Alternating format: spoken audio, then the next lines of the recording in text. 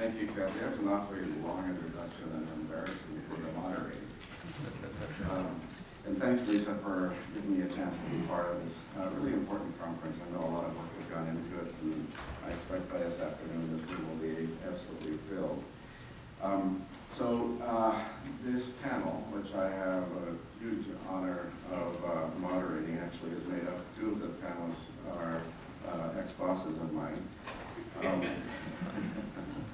eh, And we think it'll set the stage for the next two days in many ways by providing a historical uh, context um, for everything we'll be talking about here in the next couple of days. And although there have been uh, many, many people, in fact, I see uh, quite a few of you here in the room who over the past 30 years have played significant and important leadership roles in what we're now uh, calling climate services or climate information, certainly climate science, and uh, of course the IRI.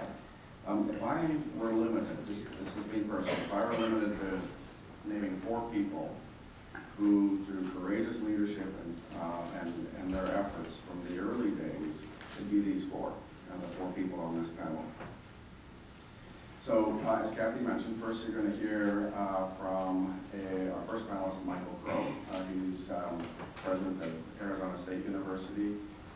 He wanted to be here, but he has a Board of Regents meeting, so uh, he said even if he uh, might from time to time miss his kids' birthdays, he can't miss the Board of Regents meetings. And For any of you who've been presidents of universities, know uh, what that means. And we're going to hear, uh, so he'll, he'll do that, and then I'll call the panel up. Uh, At that point, we'll set up a table, and we'll just keep going with that. So um, I'm going to introduce Mike. Michael Crow, um, is known to a number of you, particularly those of you who've been here at Columbia University for a while, and now the pres, I think, uh, 16th president at uh, Arizona State uh, University, where he's been since uh, 2002. Um, He's a fellow of the American Association for Advancement of Sciences, uh, the National Academy of Public Administration. He's authored a number of books uh, designing what he calls designing new knowledge enterprises um, and new science and technology policies at highly adapted uh, higher education institutions.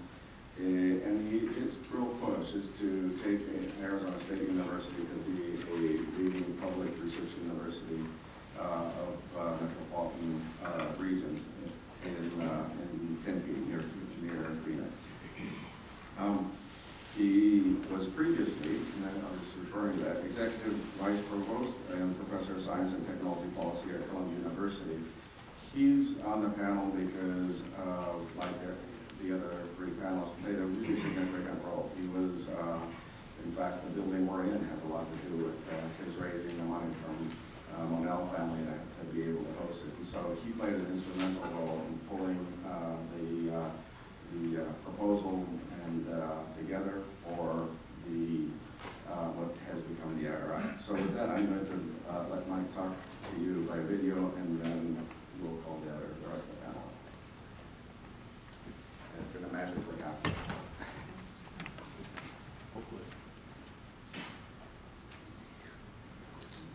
Hi, uh, Michael Crow here. Sorry I can't be there with you. I really wanted to be at uh, this event because this is, uh, from a number of perspectives, both personally, professionally, I think scientifically, and uh, even beyond that, socially and even globally, this is really an important 20-year anniversary. Uh, 20 years ago, as you all know, was the moment in time when uh, scientists could really say uh, definitively that uh, El Nino events, climatic affecting events, uh, were going to be predictable in a way where the information might be useful. Uh, and of course, at the time, that meant then that we had to find a way to uh, uh, be uh, really powerfully useful with that information. Uh, and we had to do something which, for some of you on the more meteorological side of things, might think is commonplace, which is the translation of scientific information into day-to-day life. And that does work, but it works best when it is near term in an individual or an organization's uh, timescale. Longer term things, I think, are quite uh, problematic. Uh, also, we're having significant and have had significant issues with uh, translation of scientific information into effective decision making by all kinds of organizations. Uh, years ago, in fact, I gave a, a talk to a joint meeting of the Geological Society of America and the Ecological Society of America where we were looking at uh, issues about Hurricane Mitch and the prediction of the rainfall that Hurricane Mitch back in the late 90s delivered to uh, Central America. The volcanoes that ultimately uh, were a part of a massive flood and mudslide and so forth, that was all predicted, all scientifically modeled, all capable of being understood uh, by many, but not translatable into decisions. And so the exciting thing for me, and what this represents with the IRI, uh, the evolution of the IRI, the success of the IRI, the whole notion of the International Research Institute for Climate Prediction and Society, or Climate and Society, uh, is that we've gotten to this point where we're inching along, slowly moving ourselves out of the whole notion of uh, thinking in the Stone Age and starting to think in the modern age. And what I mean by that is, as we build scientific tools that provide information to enhance decisions over mid and long range timeframes, how do we find a way to integrate that knowledge and that information into uh, non-scientific decision making? That could be economic-based decision making in terms of companies, it could be political decision making in terms of political jurisdictions or politically derived uh, uh, allocation models like water uh, allocation models or what have you. How do we make all of that work? And so the, the, the risk then is that we develop, and I think we've experienced some of this in the uh, broader global climate change uh, uh, array or arena. what, we've, what we've missed is this ability to find a way in which scientific prediction, scientifically based prediction, and outcomes scientifically based prediction and social outcomes, scientifically based prediction and social, economic, political, uh, and other kinds of outcomes can all be integrated into a series of tools, devices, mechanisms that can uh, enhance uh, quality of life for everybody that's involved. Now, uh, sitting here today, 20 years later, uh, people say, well, this is all obvious. In fact, many of you in the room may think this is all obvious was obviously uh, not obvious. And so what I mean by that is that we're really struggling. This is an area where we're struggling. And even in 1996, and then uh, those of us that were involved in finding a way to uh, design the IRI, advance the IRI, fund the IRI uh, uh, against uh, substantial competing forces, if, if you will, all of us were thinking, could we build a prototype organization that would prove the point that scientific predictions, mid to long term in their uh, time frame, and other decisions could be integrated into a single process. In fact, was there a way in which we could move away from the notion that the science was in fact the prediction, but in fact the outcome was the prediction? And if the outcome was the prediction, could we then move to the point where with an outcome being predicted, could we then affect behavior? Could we then affect uh, the way people made decisions, even decisions over uh, multiple seasons, and ultimately even decisions over multiple years. Now again, keep in the back of your mind, as it relates to global climate change, we're still a long way from being able to prove this point. So even then, 20 years ago, we were saying to ourselves, if we could figure out how to do this with the kinds of timeframes associated with El Nino prediction, might that then lay for us the knowledge foundation to allow us to know what to do for longer uh, climate change forces. And so that was really the, at the outset what we were really working toward. And so what we began to think about was the notion of, a, of moving from a weather service to a climate service. What we began to think about was moving from weather to climate to uh, uh, global to uh, uh being able to find ways in which we, we could enhance outcomes for farmers, outcome, out, enhance outcomes for uh, uh, fisheries, enhance outcomes for um, for conservation management, enhance outcomes for, for all kinds of groups, uh, water users, water suppliers, and so forth. But the notion was, could we take this living, breathing, dynamic planet, uh, predict how it uh, uh, was behaving, predict uh, its relationship with what we're doing with it, and could we lay down a new kind of knowledge base? And so I think and I hope that in the 20 years since we've figured out, and based on everything that I know about what the IRI has been doing, based on everything that, that I have uh, seen, based on where we are, we have taken great leaps to enhancing the kind of knowledge that we uh, produce. A way to think about it is the following. Uh, most scientists, rightfully, focus on understanding nature. And when nature is understood, they move on to something else in nature that we don't understand. That's fantastic. That, call that a discovery-driven science. Some scientists focus on uh, using science to produce some kind of solution, some kind of uh, thing from the scientific understanding. And for the most part, you can call that applied science, or you can call that engineering, and, and we're doing really fantastic things there in terms of building tools and algorithms and mechanisms and so forth. There's another area of science that I think is unbelievably important that for whatever reason we haven't been able to get social scientists and behavioral scientists, natural scientists and engineers to come together on, and this is something that I call outcome science. There's an outcome that we're looking for. Success for societies, plural. Uh, agricultural success in regions that need to maintain it or develop it. All these areas that we need and desire certain outcomes. Think of sustainability as an outcome. Think of sustainability as an outcome on a regional basis. Think of sustainability as an outcome on a national basis or on a global basis.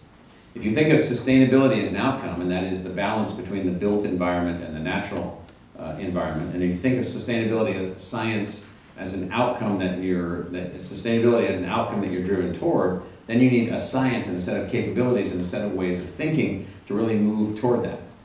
And so I would like to think, and I do think, and uh, I am sorry I can't be there to share this, this with you, that the IRI was a uh, early generation, outcome-oriented science enterprise, focused on the delivery of knowledge, know-how, solutions, mechanisms, and insights that can help human beings to adapt to the natural forces uh, that uh, make up all of the complexity that this planet uh, brings to us in a way in which we will have forever an opportunity to change our thinking, change our decision making, and become more adaptive to and then subsequently have superior outcomes from our relationship with those natural systems. So, having said all that, uh, uh, again, I'm sorry that I can't be there with you. Looking forward to the results of the two-day uh, meeting that you all are going to have out there, and I'm ever hopeful that institutions such as mine here at Arizona State University with our Global Institute of Sustainability and our School for Earth and Space Exploration and other uh, centers, institutes, and programs that we've built here drawing heavily from the lessons that we've learned uh, with the IRI, will someday be a part of a network of a series of institutions focused on this notion of outcome-oriented science. Science producing certain human outcomes where science is in fact not the objective by itself, but the outcome is the objective by itself. And so, again, you all have a nice meeting out there, and I look forward to hearing uh, uh, what everybody talks about. Thanks a lot.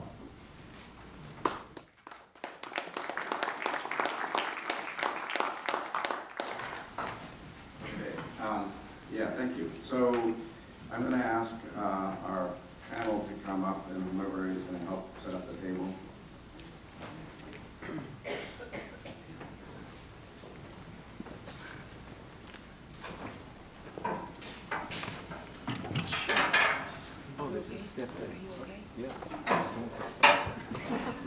What we'll do is, uh, each person will give a few minutes, maybe eight or nine minutes, nine and a half if you want to be longer than Michael Crow.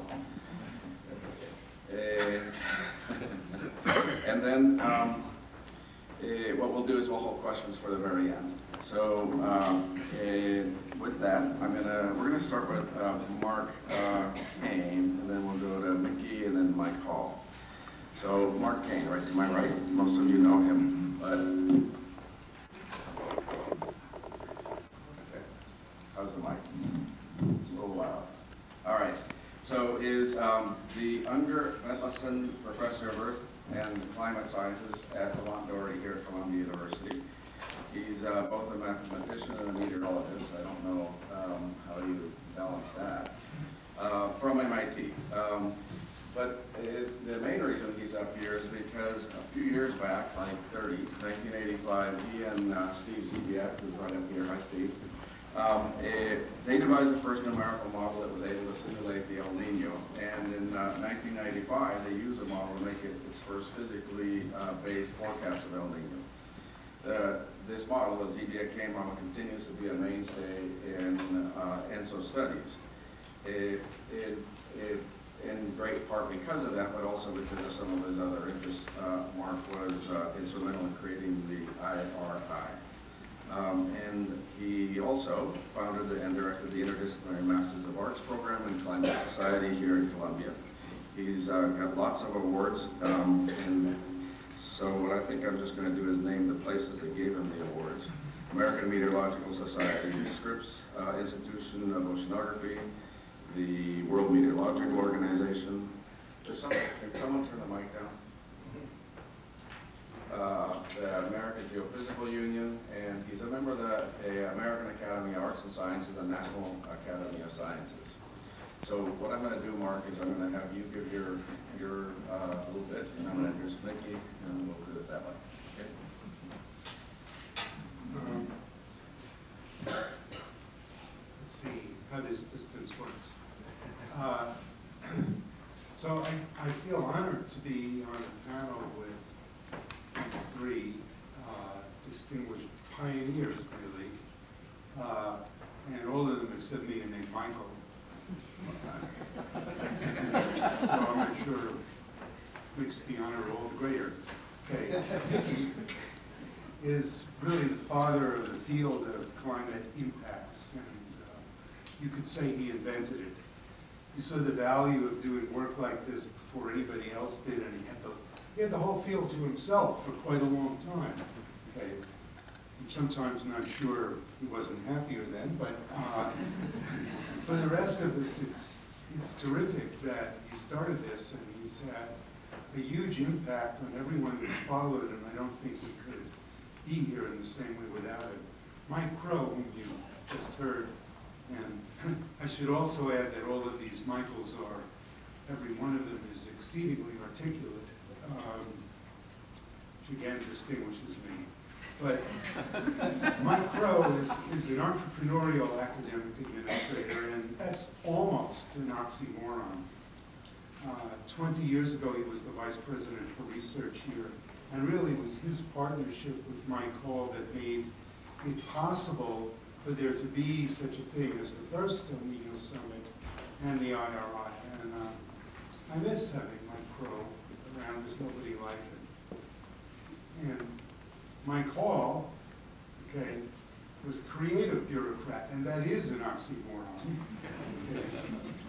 20 years ago or so, he was the manager of the TOGA program, which uh, really established the scientific basis for seasonal to interannual prediction, and then the extension to impacts. And we see a lot of my fellow natural scientists who were involved in TOGA are here. I won't name you all. They're mostly recognizable by having, uh, except for Steve Zebiak, for having white hair. Um, Okay, and Mike Hall is the key figure who made the IRI come to life. What he accomplished when he was in the government is impossible today, but the more I think about it, the more I think um, it was impossible when he did.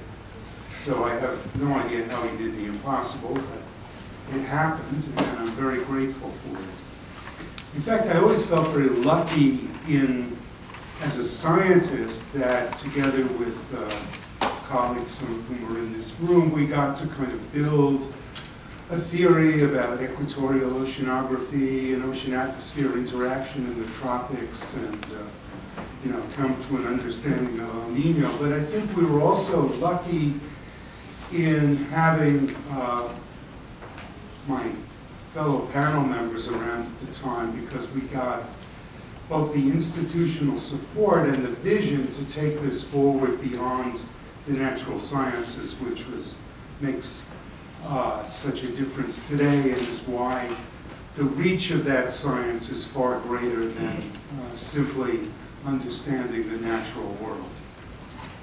Okay. The first El Nino Summit was 20 years ago, but I would want to start, go back 30 years to about the time we made the first forecast. If I go back almost exactly 30 years, okay, then I can say it's the 30th anniversary of when science rejected the forecasting paper that Steve Zebiak and Sean Dolan and I submitted.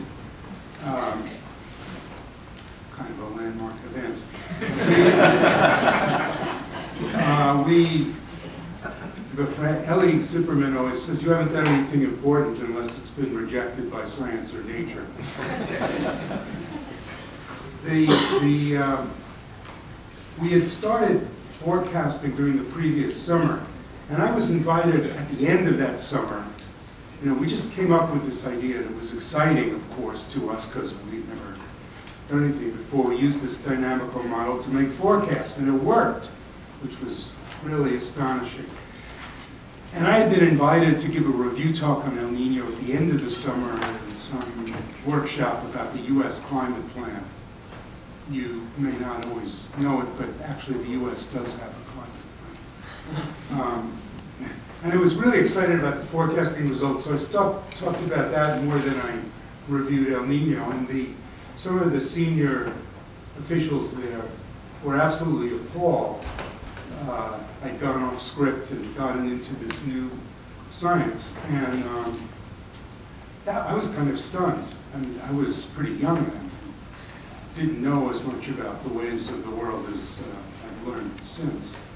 But Mike Hall recognized the importance of what I presented, and I think of that really as the place where uh, the story of why we're here today and why there is an IRI uh, begins.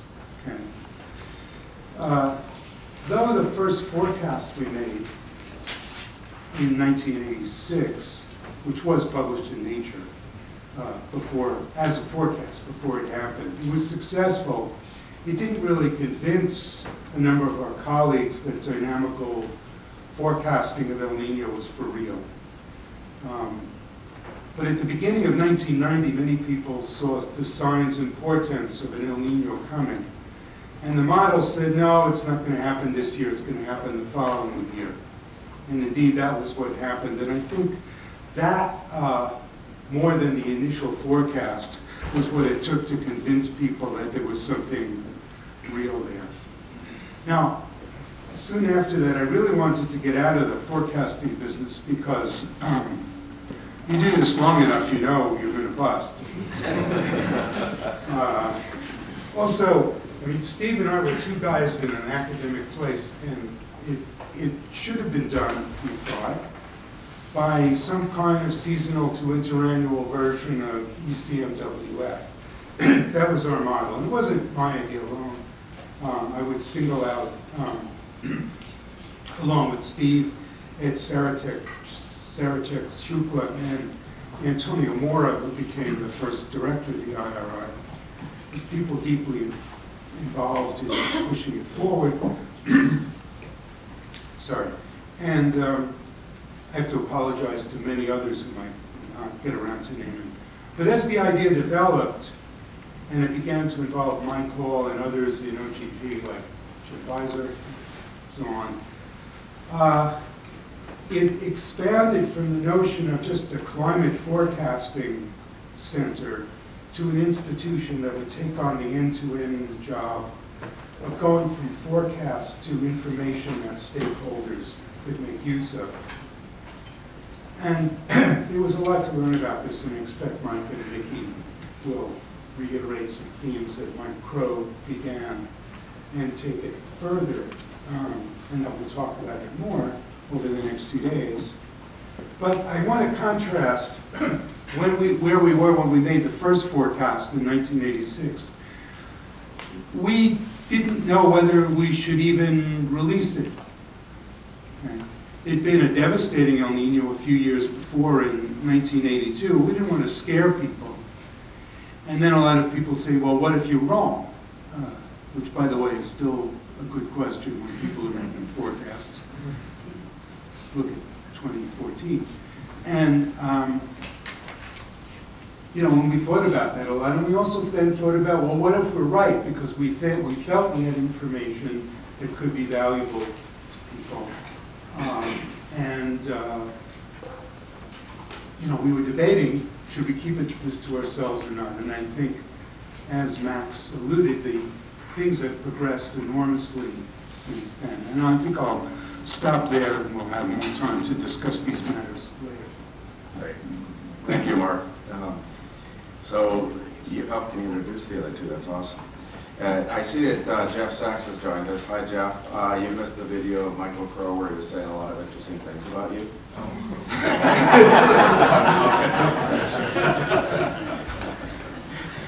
Right, um, so, uh, the, the other Mike, Mickey, Mickey Glantz, um, is at the University of Colorado in Boulder. Um, he's here right now, but that's where he's coming from. Um, eh, and, uh, where he's the director of the Consortium for Capacity Building. If one were to, uh, go back, and I'm sure that Mickey could correct this, uh, but certainly back to nineteen eighty-one, he and, uh, Dana Thompson published their first, uh, multidisciplinary El Nino book. Um, the title is Resource Management, Environmental Uncertainty, Lessons, Lessons from Coastal Upwelling Fisheries. Since then, he's published another, uh, a number of books, um, let's see, sorry, I'm a little disorganized here. Uh, Lessons from, the- uh, learned from the 1997-98 El Nino, once burned, twice shy. He's most recently doing a project for USAID, uh, Office for Disaster Assistance, uh, for, from 2012 to 2015. Lessons learned about lessons learned, about hydromet disaster risk reduction in a changing climate. And according to the bio he gave me, it says here, he's still researching. Mickey? I'm still upright, yes. Um, A lot of things come to mind, uh, having been given instruction on what to talk about and make it sort of personal, but I think uh, speaking on behalf of impacts researchers, Walter, I mean, there are a lot of us here, okay, and a lot of us not here, who probably would benefit from being here. That it brought to mind the story about uh, the time when, uh, I think it was on the Johnny Carson show or one of those shows, and uh, Fred Astaire had passed away, and they were talking about Fred Astaire, and he was the best, the greatest dancer in the world, and, uh, you know, on and on and on. And then uh, a friend, uh, a, a- friend of Ginger Rogers said, uh, you know that uh, Ginger Rogers did everything Fred Astaire did, but backwards and in heels. That, that, we, we are Ginger Rogers. Uh, The impacts people, you know, we were constantly swimming upstream with a focus on science. And uh, so we were the fly in the ointment, we were the mosquito that was always buzzing around someone's head, just annoying. And uh, it, it really has been, uh, for me, it was interesting, and I didn't care, because I was kind of working for a long time at NCAR, and uh, I was, uh, I thought I had made a, what I call an adhocracy in the belly of a bureaucracy. I didn't break any rules, but I sure bent a lot of them. All legitimate to kind of get the social side represented. So my career started uh, when I found actually in the basket at Lafayette College a chartreuse colored circular. And as I went into the office, I just noticed this bright thing in the basket. It was unusual. 1973, that color didn't exist. And here, it was chartreuse, we called it then, not neon green. And I saw National Center, and I picked it out of the basket because our chairman used to throw away mail he thought no one should read or would be interested in. And I just said, National Center, and I read the first paragraph, and it was about the atmosphere, and the oceans, and the modeling, and all that other stuff, and uh, card punching then, I guess. And, uh, and then it said, and social scientists may also apply. So I called the National Center for Atmospheric Research, and uh, they uh, told me that, oh yeah, we have social scientists, or we want them or something. It was at the time of the National Hail Research Experiment. Uh, I went out, visited to check out NCAR to see if it was worth my time, actually. Met Steve Schneider, Walt Roberts, a lot of people. And, and I applied for a postdoc, and I got it. And uh, about, uh, that's when I started to look at the value of a long-range forecast.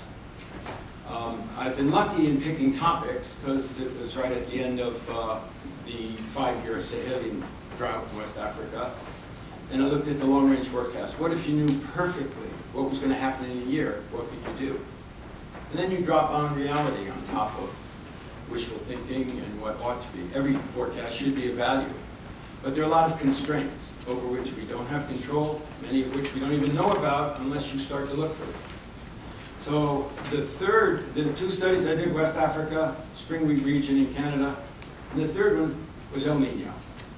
And I've gotten interested in El Nino, uh, really not El Nino, but coastal upwelling.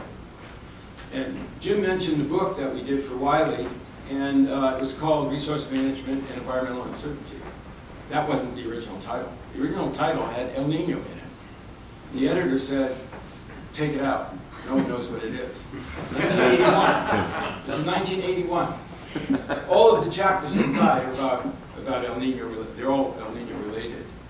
And uh, about a year after the 82, 83 event, he called to apologize for having asked me to change that.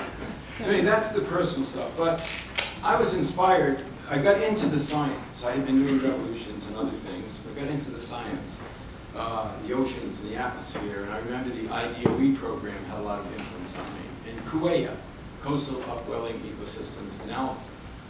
And through that, I went to Peru back in 76, and they were setting up, Joe O'Brien and Dave Andrew were setting up a- an experiment for Kuwait that they sort of couldn't have because El Nino came. So the upwelling was di- disrupted and all that. Anyway, so that's kind of the, the interest. I, I want to say that there are five El Ninos I'm interested in, so I thought I'd share that with you. I I have a lot to say. I'm- I'm collapsing about 50 years here. But, but I wanted to tell you the five I like, okay? 72, 73, all right? That's the one that turned me on because that was the collapse of the premium fisheries. And that was the collapse of the fish meal exports and, and that shifted to soybean and other things. So it showed the global implication of this thing that it wasn't until 1979, uh, 69, that Bjerknes said, oh, it's not just a Peru problem, it's basin-wide. 1974, Flohn said, it's global, you can see teleconnections. Uh, uh, That's the first time I came across the word teleconnection. So the 72, 73 is fascinating. 82, 83, of course, was also the biggest at, at the time. They were calling it the biggest since, uh, in 100 years, since 70, 1877, 78. And then there's the 97, 98 event uh, where I was in Ecuador and got mugged. But anyway, and everybody at the conference knew about it before I came back from the mugging. Was, I don't know, word travels fast. So those are three, right? 72, 73, I call it the El Nino of the scientists. There were scientists working on upwelling and tide, tidal movement, you know, Wordley and stuff. And, uh, but a lot of other scientists got involved after 72, 73. The 82, 83 event, I call the El Nino of the governments. Even Australia and other countries, all of a sudden, wait, this has global implications. Let's, uh, let's put some time and energy and funds into this. And then you had, you know, Toga and a lot, a lot of things going on. The 97, 98 event is the El Nino of the people. You could go to Kenya, they would name them Matatus, El Nino, the buses in Mexico, El Nino. So we started to see the name get popularized. People didn't know what it was, perhaps, but they knew something not good's going to happen with El Nino, and, and they picked up on the name. The fourth El Nino is the uh, 1957-58. The- I call it the IGY El Nino. By happenstance, just like monitoring CO2 at Mauna Loa, they had to fight to get that measured, like did. Yeah, Keeling did. Um, Warren Wooster and a cluster of oceanographers and fisheries people, they were studying upwells, and they actually documented 57, 58, which was the other big event before 72, 73. And the fifth one I'm mentioning in a speculative way, there are some interesting articles about it, 1877, 78. Why that one? The biggest one, you know, people today don't care about what happened before 2000, and certainly, who cares what happened in the 1800s? But what happened was that at the time of that El Nino, which was the biggest, they said in 82, 83, it's the biggest in 100 years, the volcano of Cotopaxi erupted with a high veil index. And I tried to get the, my colleagues at NCAR to look at what happens, what commingles. And I, I actually sort of was laughed at uh, back in, in the 70s. I tried to get them to look at that. But uh, for those who've been watching the news, Cotopaxi is bubbling now. There have been minor eruptions already. People have been evacuated. And I'm wondering what happens when you have the biggest of the, the first of the biggest El Nino of the century now, and what if Cotopaxi does erupt? What would that commingling be? I wish we had done that. I've been able to convince people to look at that commingling. Anyway, so those are my five. Uh, and now we have this other one called by some the Bruce Lee of El Ninos. It's no longer the Godzilla. The Godzilla was uh, JPL's term uh, for 2014, which didn't happen. And we can talk about that. The 2015 El Nino, 2015-16 El Nino is not the 2014 El Nino. It was an error. It's okay. Uh, we can talk about it. So I'll stop. I don't know how long I've been talking, but this, I got more to tell you. If you don't want to hear it, don't sit near me at lunch. All right, thanks, Mickey. So, um, next person, uh, Dr. Michael Hall. Mike uh, is retired from the federal service. He spent uh, 20-plus years, no, I mean 30 years at NOAA. Uh, He was mo- most recently a director of the Office of Global Programs, which he created um, within NOAA, and uh, where he was running multidisciplinary research uh, programs focused primarily on El Nino, but really across the board. And in fact, a lot of the programs that uh, he devised or played a role in in designing, and certainly in promoting and funding, um, you know, folks are here in the room. Um, One of them very early, the global weather experiment of the late 1970s, is that you, GWEX? No, Glo- global weather experiment. Global weather experiment. Yeah, and then uh, the uh, TOGA, Tropical Ocean and Global Atmosphere, I was looking over there, I see uh, David Halpern, uh, McPhaden, Trent Burford. Um, For those, for you younger folks, just look for someone with white hair uh, or no hair. Uh, Chad. Um, um, We're involved in these programs, anyway, I I. Um, So, yeah, but uh, he was also one of the, uh, a national leader, not just within NOAA, but a national leader. Is one of uh, four people who founded the U.S. Global Change Research Program, which is the foundation for pretty much everything that uh, uh, those of us in this room and you know, worldwide uh, are basing off of, certainly within the United States. Um, And, and then including, of course, the IRI. And there's some interesting stories, so if you do want to sit, uh, hear about it, sit- do sit next to Mike during lunch. He too has a number of awards. Uh, The Presidential Rank Award for Meritorious Executive from the Department of Com- Commerce, an award from the American Meteorological Society, uh, gold medal from uh, the U.S. Department of Commerce, Waldo Smith Medal of AGU. Uh, He's a physical oceanographer from the University of Washington, go. And uh, so I think, I'm hoping we'll come back around to wrap this up at the end, but I'm hoping you're starting to sense the theme uh, here of uh, this panel. Thank you, Jim. One of the things that's uh, interesting about serving on a panel with the- likes of uh, Mike, Mickey, and Mark,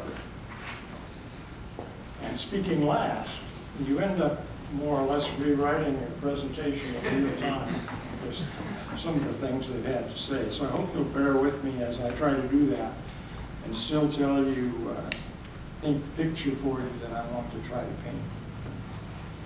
Essentially, I think we're, we're here reflecting on the roots of IRI, how it came about and why, what are some of the things it's, it's done, and how has that activity gradually folded into the evolution of the climate service. So I want to talk very specifically about the evolution of the climate service as well.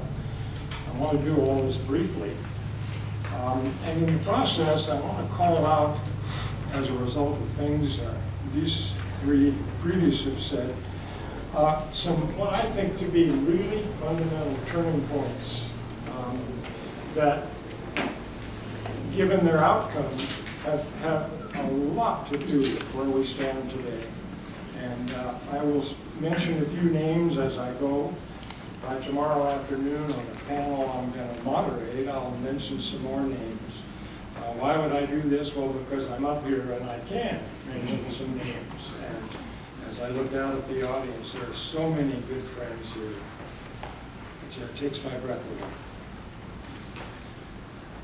IRI came about for two or three reasons, but one of the more remarkable of the reasons, remarkable because it is not common, very early on, the scientists uh, involved in TOGA, many, many brilliant people, mostly physical scientists in the very early stage, came to me and to the WMO and to the Internet- Intergovernmental TOGA body and said, we think that this decade-long research program should have a practical legacy that means something to real people. So already at that stage, people like Mickey were having an influence on physical scientists, making them feel relevant, excited about what they might do, and they called for, rather than 10 years of research, at which point there is an end, and not too much else happens they said, let's leave something in place. And this was before the idea of a center per se was even, uh, was even fully hatched.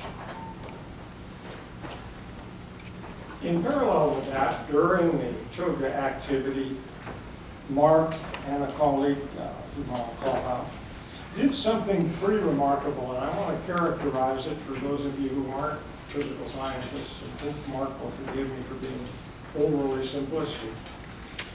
About that time in the early 90s, uh, uh, I'm sorry, the early 80s, middle 80s, most of the world focused, of, of physical research focused on general circulation models of the atmosphere and their counterpart on the ocean, which daringly were even then called general circulation models, even though they couldn't possibly be. And Toga and El Nino raised the possibility of, my goodness, we'll have to combine these models into something profound. Each of these circulation models is incredibly complicated, takes a lot of computer time. Enter Mark Cane and Steve Zebiak, and they posed a very simple question. Suppose instead of beating our two O and A circulation models to death, Suppose we take a very simple ocean and a very simple atmosphere, simple dynamically, and we hypothesize that the essence of El Nino is the interaction of these two rather than the full-blown expression of these two in a digital model. Well, that was one of the turning points I want to call out. It was a remarkable event because they took an almost ridiculously simple ocean, and coupled it with an almost ridiculously simple atmosphere, and they discovered that, my goodness, when we do this, we capture the essence of El Nino. And I've used the word ridiculously to describe those two fluid models because very many in our community used implementing, wanting to implement a toga O, toga ocean. By implication, he implied there would also be a toga atmosphere. And there were numerous agencies funding toga activity, but the Maverick in NOAA had some funds that he could apply to anything he wanted to. That was an historical accident, which we won't discuss at length. But he decided to do something that uh, might be unique, and I believe it was a turning point. He said, no, we'll only entertain proposals that integrate the ocean and atmosphere into a single thing. Seems to be the essence of what's happened. The models reveal something remarkable. I believe that was a turning point, and it was not done without any pain. The, those who wanted an O component and an A component were not terribly happy with this Maverick. The integration of proposals led to some remarkable developments. And finally, later on, towards the end of the TOGA program, another transition happened, which is the fourth uh, turning point I'll call out.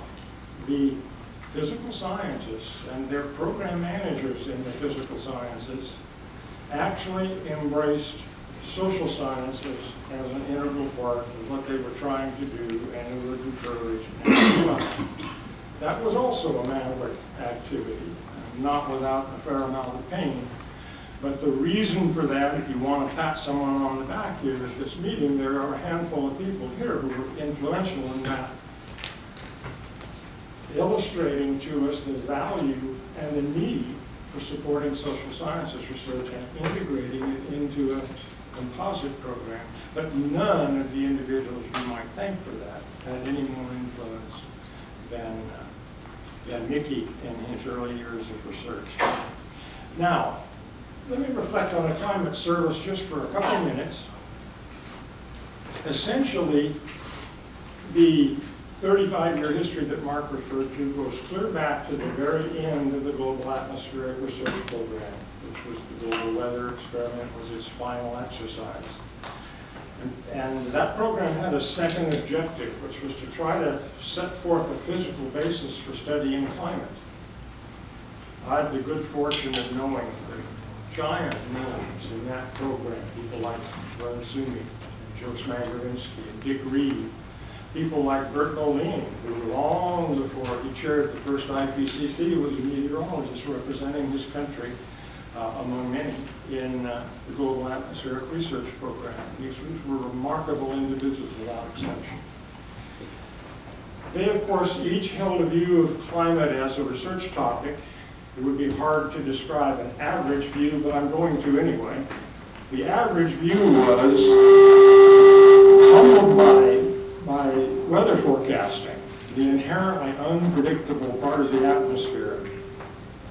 These individuals thought that climate, with all of its numerous interactive elements from ice, land surface, atmosphere, ocean, etc., and we now know people, was an intractable scientific research program. They thought very little chance of making much progress, and that was the average view.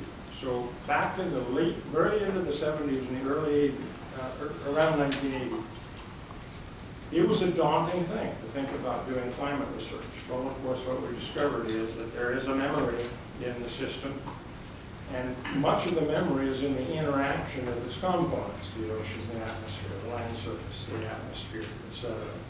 And I want to tell you, as we reflect on the evolution of the national, a uh, uh, climate service, we have made remarkable progress. This meeting and this panel has led me to think a bit about, about uh, how far along are we in setting up a national climate service, and indeed, a climate service for humanity, international as well as national. And I'm going to suggest to you uh, that we're very, very far along, remarkably far along. And that should excite us, and we should all, uh, every one of us who's here today, uh, should take great pride in the fact that we've gone so far toward doing that. I'm going to wrap up by, by telling you what maybe sound like bad news, but is, of course, good news. So. If you look at that 35 years, there was one thing going on that I can't call out, but I can assure you it was absolutely intensive the entire period of time. And I'll quote an illustrious leader uh, outside our field. General Eisenhower, who was a remarkable individual, and I've studied some of what he did and how. He said something about planning that's interesting, and you should all remember it and somehow assimilate as fundamental to self. He said, plans are nothing. Speaking about D-Day, incredible events he'd been involved in. He said, plans are nothing, but planning is everything. Planning is a preparation for the eventuality that will lead to your not being able to implement your plan, but being able to adapt and adjust and continually move forward. And one of the things you'll find is that 30 years, including until very recently, planning was a very core central activity, building on GARP, There were early views of what we might achieve. The National Climate Service was a lofty goal enunciated very early. I think in recent years, planning has fallen by the wayside as we advance concepts of human forced warming, etc. and we encounter resistance of various kinds. We become discouraged. And the last thing we think is, we need more money for research, or we need an expanded research program. There are many questions that we should be studying in some detail we're not. And I want to suggest to you what I call the bad news. You must do the planning, approach the government mechanisms of the United States and abroad, and broaden and deepen your research program. Because, because you've created a climate service, every time you do a service, you do a product, it's useful, it's fundamental to decision-making, it affects uh, the world in the way Mike and Mickey have described, you also illuminate some new problems that you know nothing about. It's an inevitable consequence. Be doing a service. What if we're wrong? We've been wrong, we'll be wrong in the future. Um, And being wrong about aspects of greenhouse warming is a pretty high stakes proposition. Why is, uh, what's going on in the Antarctic? How is it different than what's happening in the rest of, the- in the rest of the world? The truth is, we don't know nearly enough about that. So I'll offer you a proposition, and I used to say this to people in my office and my colleagues, advisors. Often they thought I was kidding, but I was not kidding. There is a time to raise money, and it's not when you think. When the system seems flush, now is the time. Not so, because everybody and his dog is asking for money, and they all have a good case, and they all have patrons, and your message, your request is lost in the good times. There is a time when you can approach the system with a high probability of success. And that's when the system thinks it's broke. Oh, of course, the system never broke. That's nonsense. Um, The United States has money to burn by and large. And when you ask, and no one else is, that's when you're the most apt to succeed. Plan, go forward, bring in new resources, new resources. Don't stop thinking and planning. Believe in yourselves, believe in your enterprise, believe that the success you've achieved to date will engender further success. And the application successes that you achieve will engender further support for research because the people who use your information will want you to be able to tell them about the Antarctic versus Greenland versus the Arctic, et cetera. Um, So uh, don't get discouraged. Um, The broad brush picture of climate, the evolution of the climate service looks like this. Nature first revealed herself, itself, if you prefer, on interannual timescales and said, come and study me on interannual timescales and let you in on a secret or two. And we had great success. And it was, it characterized the decade, the decade of the 80s. The decade of the 90s and beyond, we began struggling with assessment of uh, change, with the human role in it and, and issue products. And really, these two activities, which I'll characterize as the longer time scale or greenhouse, if you want to use that term, um, versus the interannual time scale, those two core programmatic activities actually characterize the evolution of the climate service. They aren't everything, but they're 90% of what was going on. Toga was first because nature was the kindest to us in that time scale. Um, and then came the uh, uh, longer time scale and the evolution of this remarkable thing that's called the national assessment. Here today, you've heard, and you will continue to hear from a couple of people who played a remarkable role in the evolution of the national assessment. our overall moderator, Kathy Jacobs, and the moderator of this panel, Jim Buizer. The national assessment now is an integral, ongoing, continuous part of our activity, of our climate service. And you will encounter efforts to curtail it. Well, we did a national assessment. Why would we want to do another one? The answer is because you assess constantly. It It's hazards analog on weather time scales. You predict the weather every day out for the next five to 10. And on the long time scale, we make an assessment every five years or or thereabouts. And it must continue in- indefinitely. And it is a core part of what you do that will in effect produce research dollars uh, for future activity, because becoming integral to the affairs of a society is a great thing for science.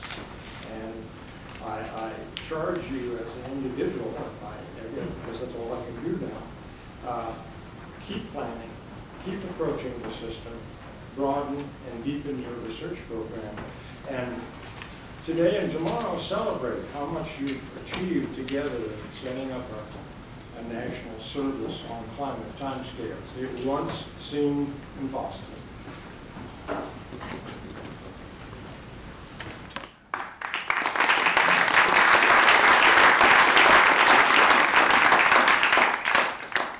Thank you. So I hope you get a sense of uh, what we were trying to do here by setting the stage, giving some history. You heard from uh, eh, the video, you heard from a leader in uh, the university, so an academic leader from the institutional uh, uh, side. We heard from a leader in the physical sciences, a leader in the social sciences, a leader in government.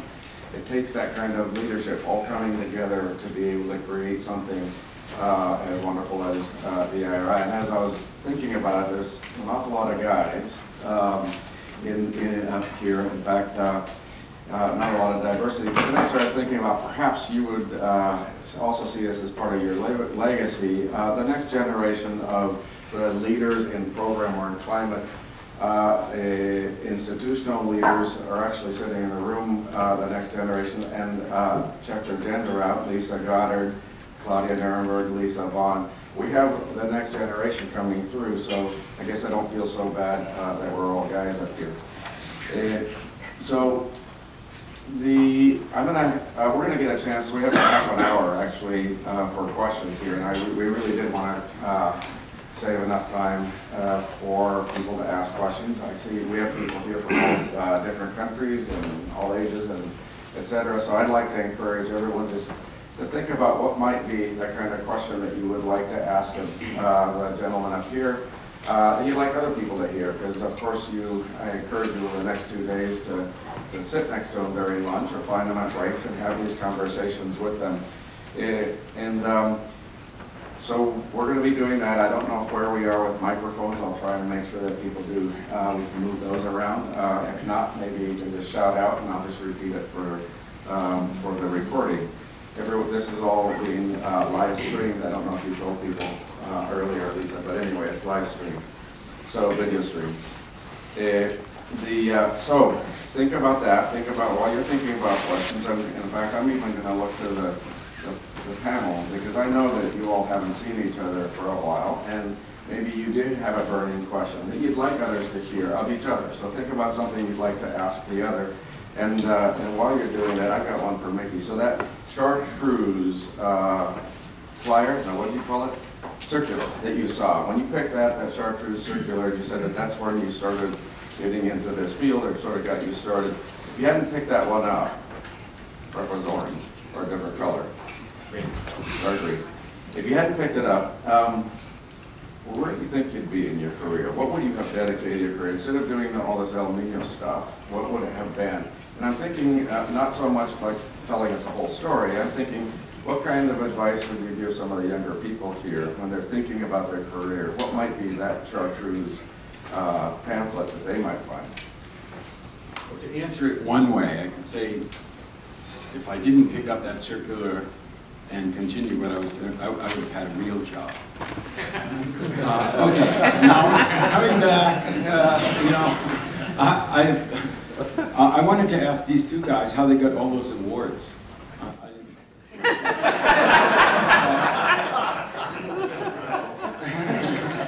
Anyway, uh, you know, I guess if I had, uh, if I had to say it in five words, I would tell everybody younger than me, and I think that's just about everybody in here. Um, Look back to look ahead. I think what's happened is something I call the century effect. You know, uh, 2000, we're in the 2000s, we're in the third millennium. I think the tendency, it's- and it's reinforced by publications and other demands on publication, is don't cite anything before 2000. I mean, it's not current.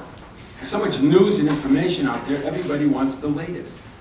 But I have, I have to tell you, some of the stuff I've been reading is, is not as good as Herbert Flohn's 1970 Fleer and Flohn. And, and, and, I mean, go back. It's okay to go back and look at the early stuff and, and make sure that the the, the publishers let you cite it. If I hadn't done that, what I had been working on was droughts, was, excuse me, revolutions. The turning points in my life, and there are many, actually, when you think about it. Um, the, the turning point for me, when I'd been studying revolution and decolonization in Africa since 61, 62, until uh, uh, uh, 1992, uh, sorry, 1972, I saw a flyer to go uh, on drought in Africa. And I was interested in Africa. I was doing decolonization in Africa. I was doing studies in Africa. And I said, I'm going to go to that meeting. This is 72. You had no money for travel, no money for support. You just, so I went to Syracuse University, the Maxwell School, and they had this drought meeting. And that was the catalyst say, okay, look, I'm looking at humans versus humans. They're killing each other, starving, whatever. I'm going to focus on humans versus nature and climate. So treat climate sort of as a predator in a way. It's, most of the time climate is good to us, but sometimes it's like a predator.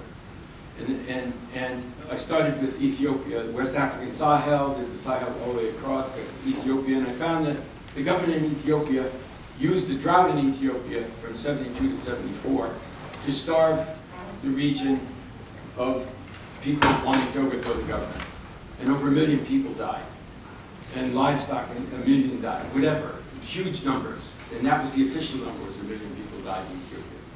So then I found that people used the climate to kill other people. But I didn't dwell on that one. I went on to other things. And how to use climate information, and what were the obstacles to the use of that information. Because in theory, it's valuable. Forecasts are valuable. Every time someone makes a forecast, someone is listening. It has an impact. Even bad forecasts have impacts. But there's a way to make that use of this climate information a win-win situation. A win for everybody.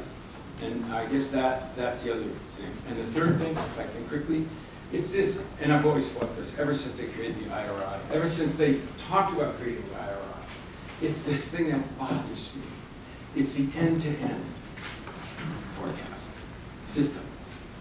I produce a forecast, I give it to you. And no, there are three ends. Tell me if it's any good. Tell me what you need. So I, you know, it sounds silly. So I call it end to end to end. The feedback loop. Every model has a feedback loop. The simplest models have a feedback loop. So, yeah, you understand, you're in the business, you understand end to end. I want to hear what you have to say, but I'm not telling you to tell me. Make it end to end to end. All right, thanks. Um, I think they've heard you about the end to end to end. Uh, Uh, not seeing it yet. Where are you looking? Oh, years. So, did you want to, Yeah, I mean, I wanted to, end to end to end, um, Don't make a joke of it. You're gonna say end to end to end to end. no, no, no, no. I saw it coming. There, there's a joke about end to end by Dorothy Parker, which I won't repeat here, but it's much funnier than. But, I mean, I think Mickey was right in the sense of, uh, we first started forecasting, we had this sort of, if you build it, they will come attitude, you know, that you just put the forecast out and then people will figure out how to use it well and so on and so forth. And I, I do think now the, uh, at least with the IRI and other, some other institutions, there's been a, a real change to the point where the idea is to find out what people, try to figure out what people need and see if you can tailor the forecasts so that they can in fact use them, so you're giving them what they need. And that does mean, um, starting from, if you want, the, the other end, in the forecast end. There's of course a difficulty there is that what people would, as is so often the case in life, what people would really like and really want and really need is not necessarily what we know how to deliver. okay? But, you know, it tells you what direction at least to try to work in. And then you have to be a little bit creative. So there's a limit to how much skill we can have in forecasting. We know some of it is our ineptitude, but a lot of it is intrinsic in the nature of the system. And you have to figure out how to deal with that as well. Um, Great. Mike, anything, or shall we? I would, I would ask a question.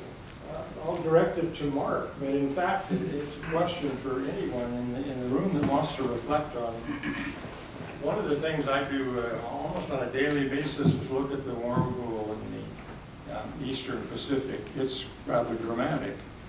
And look at some of the associated convective activity, but it leaves me with a question, uh, probably has multiple parts, but in essence, have we yet seen the full global manifestation of warm pool as it now exists? Is the timing about right?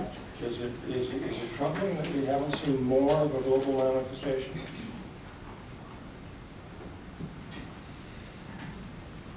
Is Tony Barnston here? Yeah. Well, I, I would, I would sort of love to pass that one along to other people. I think actually things are, and, and uh, others can comment, but I think as far as I can see, because I don't pay as close attention as I used to, things are moving along the way they should, but, you know, it's only November. Uh, And the best and worst, depending on where you are, Mickey's very big on winners and losers. So is, is yet to come when we go into the full winter season. So I'm going to come down, uh, Jim, I'm going to put you on the spot. Do you want to take a shot at Mike's question? Yeah. Mi- There are microphones in the back here, so you don't need to run up and down. Well, down. he just asked if there's a manifestation of uh, the warm pool, if we're seeing. I'll talk about it a bit tomorrow. You are? Okay, can you wait till tomorrow, Mike? Yes. Okay. Any questions? do have a question. Well, okay. So, um, Your name first, please. oh, uh, Jim Kinter from COLA. Um, It seems to me with a panel of such enormous distinction uh, in front of us, we have to ask uh, some important questions, and I'm not going to try to pretend to do that, but um, if you think about computing, Amdahl's law says we find the component which holds us back the most, and we fix that one to make progress. So I'm wondering what you guys think is holding us back the most at this point? Is it our physical models? Is it the way we're interpreting the models? Is it our interaction with the social sciences? Is it the way we're communicating? Uh, You know, there's a lot of possibilities. I don't want to try to make the universe of possibilities for you, but, but what do you think is really keeping us from making progress? Okay. I think there's progress. I don't, I don't know, I, I, there's not, No progress. The modelers can tell you their, their problems. I think social sciences are more engaged now than they ever were. Um, It's always funding problem, I guess. Uh, I think, I find, it- I don't want to single out any organization, but NSF isn't really, really good at merging the sciences with the social, but they should be. There should be more funds to look at the other ends, not just the science end. But I think things are good. I'm not displeased with the science. I mean, as an observer, I've been around it for 40-something years, listening to others, and, and uh, I think they're doing good. Um, A quick answer, which is a little bit redundant from something I said before, but let let me put it more graphically. I I kind of think that for the last uh, at least five years, if not a a year or two more, the community's largely been coasting on programmatic accomplishments from an earlier era, believing that programmatic accomplishments uh, in this era were impossible. And I believe it impedes our research systematically. And I believe that uh, I'm trying to urge you to uh, accept that reality and approach it with optimism and with hard work. Someone said once, and how true, I think it's incredibly true, that luck, uh, good luck, is the residual of hard work. And one day, the government and other governments will come to you, and they will have noticed you, and they will ask you some profoundly in-depth questions, and, and, and in- implied in what they ask you is a sense that they, they get it, and they're actually willing to put some more effort and resources into this activity, and you must be incredibly prepared when that moment comes. That's why Eisenhower said planning is everything. Those moments come. They're the residual, and whether they're lucky for you or not is a, a matter of the work you've put in before. So I really think the principal impediment is we need an expanded research program, and that means we need people who believe that can be achieved. Because I have the microphone and, and because I'm sitting here, I want to call out some other individuals. But first, let me say, since I'm calling out now some, in part, agency individuals, let me say something else. Demand more of the National Science Foundation than you typically get. Revolving, rotating to Washington and turning the proposal processing crank is sort of the, the relaxation mode, the, the default mode at NSF, and you want more programmatic leadership from the National Science Foundation than that. It's been true for decades. There have been moments of incisive, spectacular leadership, Bob Perella, for example. And there have been moments that have been pretty flat, pretty disappointing. Demand more of NSF. NOAA. My tenure at NOAA was actually easy compared to the present. And I'll tell you why. I had a staff of incredible people, um, 50 or so people that just made life easy for me. I didn't have to ever touch a keypad for anything from email to anything else. What a, what a life, what a wonderful life. If I could only return to a world where I never had to touch a keypad, I would do it in a microsecond. Um, I want to mention some names in NOAA and, and ask you, thank them, acknowledge them, be aware they, they suffer for your sake. Because now, it's not easy anymore. It's not as easy as it was when I was there. It's a lot harder. Claudia Nierenberg, who's here, Lisa Vaughan, who's here, Roger Pulwarty, who's here, really struggle on your behalf, and they struggle against almost impossible odds to keep the government straight, to keep it on track, to keep it functioning. I hope you will all thank them.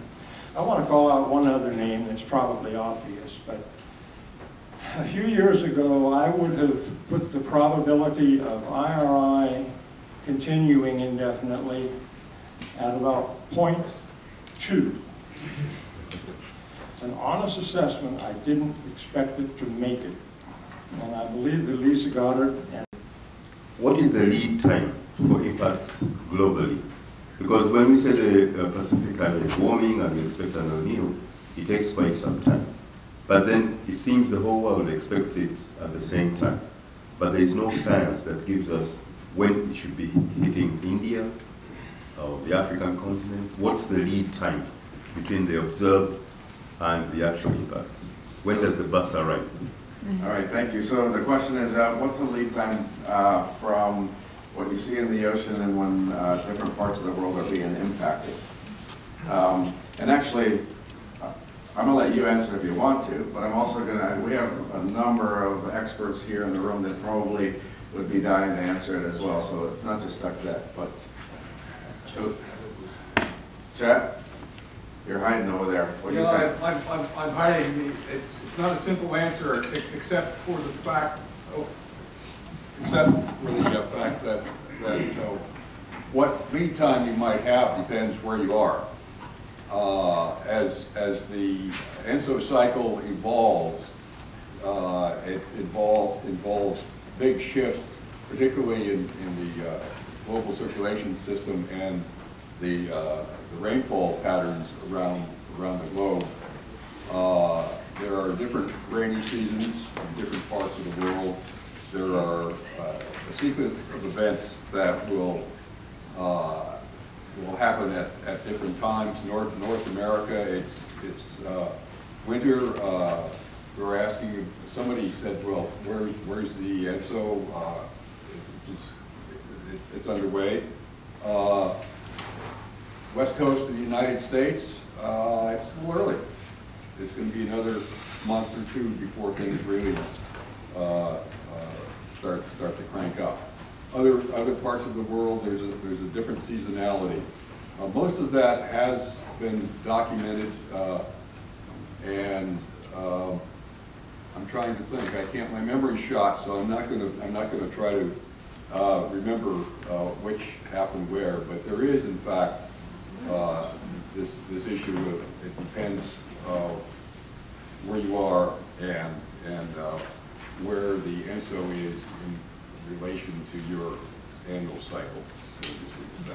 So when thinking about a climate service or climate, uh, or even uh, what the IRI does, it's not an El Nino forecasting service. It uses that as a basis and a foundation amongst others to talk to people about uh, their climate and impending uh, events. So um, at least in my work, I talk about droughts or floods. I don't talk about El Nino. I talk about the impacts because then we don't have to start getting into, so how many months before uh, you start seeing things in different places, you really are focusing on answering those questions right in the place, and you're talking to to them about things that they are experiencing. So, um, okay, to to manage this, we only have about 20 minutes left, so if you have some, uh, a question or an independent question of the panel, I just want to make one okay. comment. Okay. So, there were these Ropelewski and Halpert papers that, you know, were 30 years plus ago? Eighty-seven. Yeah, almost 30 years, okay. So the work was done 30 years ago. Uh, And that's the kind of, what we have as an answer, and they've been turned into cartoons that everybody uses in talks, is these are the, you know, and so impacts. Uh, Somebody wants to do a nice paper and a nice service, you could, there's 30 years more data, you could redo what they did, and it would be very valuable, and it would be, you could try to make a little bit more out of uh, what the uncertainties are than was possible then. Um, So anyway, we got 10 minutes left. Um, I saw a question over here. No, right over there. I don't mean to point, but I don't know how else to bring your mic.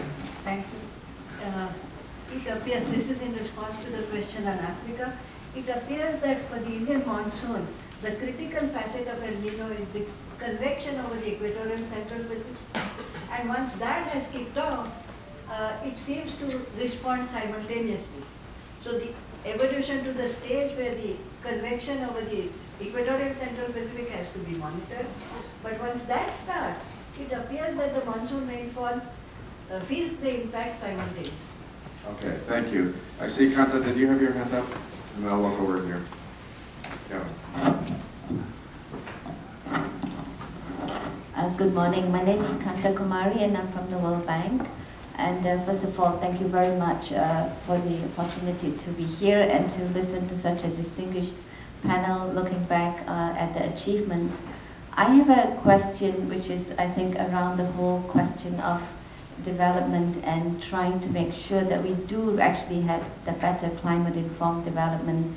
And I wanted to draw from the wisdom of the panel I mean, you've looked back and given us some turning points that have really helped us to get where we are today. And I think that the climate information and the climate services are, are very much advanced. And yet, I think when we work with our client countries, we still don't get it to the end user in the last mile.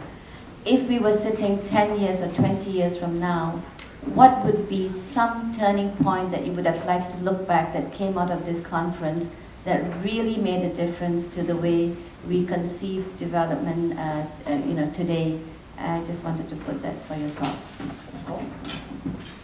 I'll take a, a shot at part of it. Um, What could happen in the next 20 years that would be remarkable? A a timescale we haven't discussed much, the interdecadal variability. And the modes of interdecadal variability are largely known, but if I had to highlight an area that had practical importance for people, for the evolution of social institutions, as well as for the uh, the progress in the science, I would highlight the interdecadal timescale, the modes of variability, more research into those, so that we really can answer questions which are probably will be pressing in the coming 20 years, one of which is the North Atlantic thermohaline circulation. What is the state of it? How does it reflect the interdecadal variability that I've suggested? And, and what can you say in predictive mode about that process? And that's just one example of, of the kind of things we might focus on, any one of which could be a turning point in understanding the, the system and adapting to it. Anyone else appropriate? Okay. I, I have a lot to say, so let's sit near each other at lunch, because some of what I have to say is about the bank. Um, Okay, aside from that, I think El Nino and uh, disaster risk reduction uh, can serve as a link between the here and now and climate change adaptation. Okay? Because even these communities aren't working closely together. I, I'm not even talking about the bank, I'm talking about in general, in government agencies. So there's a disaster, come in, clean it up.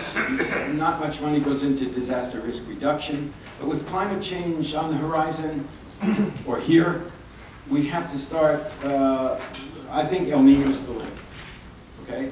Not just El Nino, it's La Nina, it's ENSO, but ENSO didn't catch on. But we really, when we say El Nino, we mean the whole uh, quasi-periodic cycle.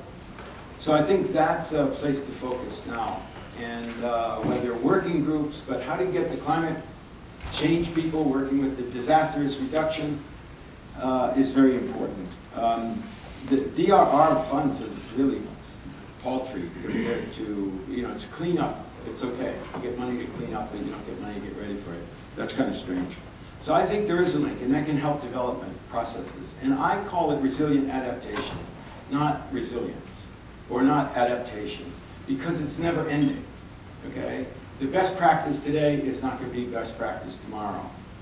And a lot of things, and we don't have time uh, we don't have 20 years because uh, I, I've written someplace that uh, just like uh, green is the new black for fashion, I believe 2020 is the new 2050.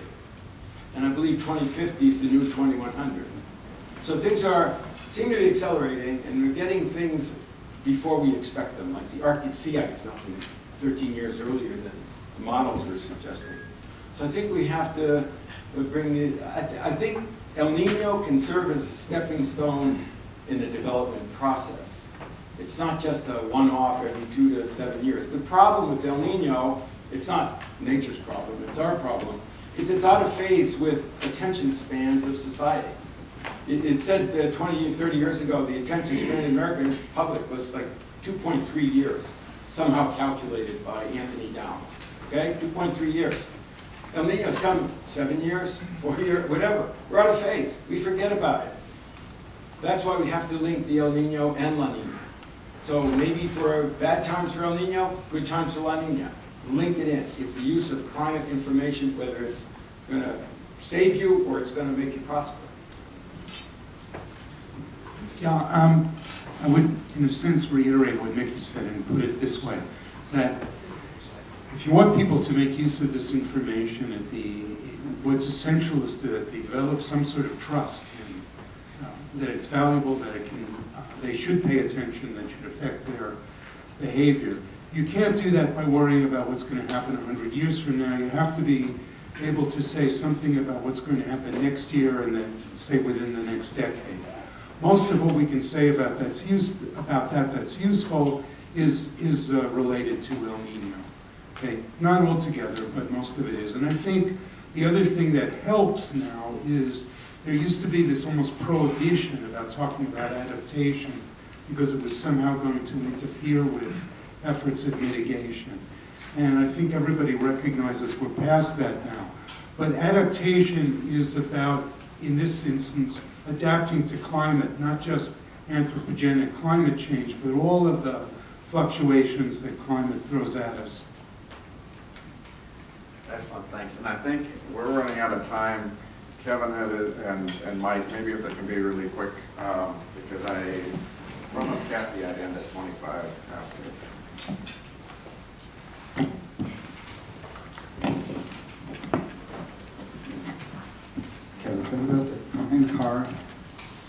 Going back to the original comments, there were two things that occurred to me. The first was that prior to TOGA, there were meteorologists and there were oceanographers. And the oceanographers went out and did, uh, uh, and and gathered their own data, and it was proprietary and it wasn't shared. And TOGA really developed climate scientists, I think, and Mark and Will wish to comment on that.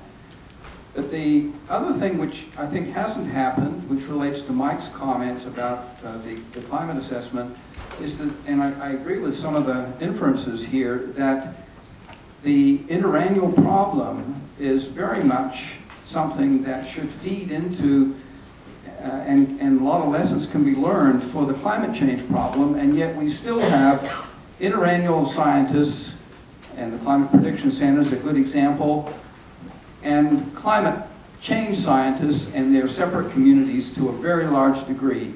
And I wonder if you can comment on that. Yeah. Um, That's right, and, and it is unfortunate, and Kevin, it is good to remind us that one of the legacies of TOGA was to bring together two communities that now seem uh, close, but weren't when we started. And one of the ways that worked was to have um, a set of very clear questions that you could articulate in English and actually translate into other languages without loss of meaning. Okay? And we need some more of that in terms of linking the physical sciences and the social sciences now. And the, the second link is climate is a continuum, and what will happen in the next decade will be partly a consequence of uh, anthropogenic impact on the climate system, but even more natural variability. And if we look at those questions, we will bring these two together because it's necessary to do so. I'll tell you another anecdote, and I'll, I'll put it in provocative terms just to make, make all of us think, myself included. Um, my activity in the government, I had the formal advisors I used. In this room is, is quite a number of people in this room who served in that, that capacity. I used to go before my advisory panel and say, I thought reductionism is dead. And the panel would say, oh, Mike, Mike, Mike. And I'd say, all right, all right, it's a limited value then, I back way off. But let me leave you with a thought. Reductionism has reached its limit. We've done everything we can, and it has been remarkable looking back at a couple of millennia. But largely now, the exciting things to be learned are beyond interdisciplinary. They are completely integrated problems and should be stated as such and researched as such. Mike, I'm afraid we've run out of time. I said, can you, can that one hold for? Sure. Okay. Well, except that I.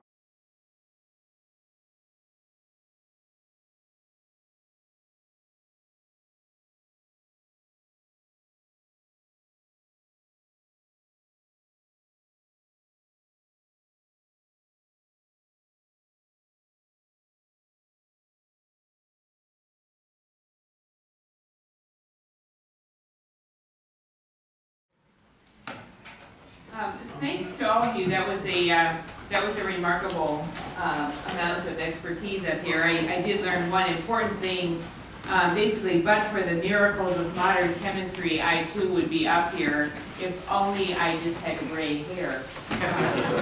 But anyway, um, so uh, I thought we learned a lot from the the Mikes and the Marks, uh, and I wanted to summarize uh, some of that partly because the point of being here is not just to look back, but to look forward. And as I said at the beginning of this uh, session, uh, we're here to frame the next steps. And I hope all of you see your job as being that person who's going to be sitting up here in 20 years talking about what you accomplished. There's not one person in this room who can't do the same kinds of things um, that these folks just described. So I'm not, I'm talking to everyone in this room.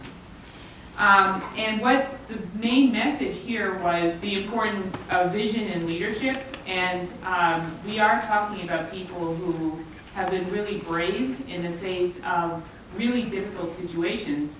And also people who are willing to bend the rules, um, which is actually my favorite thing in the whole world. Um, and I think many people who know me know that. But honestly, if you let the rules define what it is that you're going to achieve, then most likely you won't be sitting up here. So that's just an important um, lesson. Uh, I think we, we all are sort of in awe of what has been accomplished from a scientific perspective in terms of understanding what's going on in the last 20 years. Uh, I, at least, am not yet in awe of what we've actually been able to do with that information in terms of building what is truly a climate service that actually supports decision-making in a reasonable uh, timeframe. But we are clearly on this path, um, the evolution from basic science to societal relevance. Um, we have been talking about that for a long time, and some of you in the audience are uh, probably rolling your eyes big time, um, because honestly, this has been the big challenge, is getting it into the societal relevance part of it. But we, we do know now, um, things like the memory in the system, um, the connection, the teleconnections issues, um, we really do have uh, a lot of knowledge of how the oceans and the atmospheres inter interact. Um, but again, this, this being ready for opportunities and, uh, and actually recognizing opportunities where they lie is an important point. Uh, I think Mike Hall talked about the importance of planning, and, and I really call it um, being ready for the next great disaster, um, and using that as a springboard to something uh, that you really need to accomplish anyway, and we may actually have that opportunity before us at this moment. Um, I was really interested in hearing the climate as a predator theme. Um, and clearly, we need to um, think about climate in uh, in partnership as well as climate as a part as a predator. But that was, um, I, I'm afraid, that's really what it looks like, particularly for the developing world. Um, and there's this ongoing refrain of talking about the other end. Uh, clearly, science, uh, sort of the one end of the first end. Uh, there- there's definitely a first end and a second end of the end to end, uh, and the need for really more investment in in uh, the societal end of all of that. Um, I guess finally, and possibly most importantly, the idea of knitting together what we know about short-term variability, you know, seasonal to interannual, with what we know about climate change is one of the great challenges, and I hope that there will be quite a bit more discussion about that as, as we go forward. Uh, my favorite, uh, my favorite phrase from the, from the morning was the adhocracy in the belly of a bureaucracy. Uh, I like that very much. Uh, so those are my, uh, those are my observations from this morning. Um, but before um, I allow you to go have caffeine, and it is important to know that Jim is afraid of me because I am between him and caffeine. I know that's a big issue for him. Um, we, we would like you to know a little bit more about who is in the audience. Um, and because we can't actually let everyone introduce themselves right now, what we'd like is for you to stand up if you are a member of a group. And I'm going to name the groups, and you can stand up as many times as you like. The purpose of this is so those of you who don't actually know each other at least understand what category of person these other people are and can go talk to them during coffee and lunch. We really hope, again, that you're going to be talking to somebody you actually have not met before, at least three of those people before you leave tomorrow.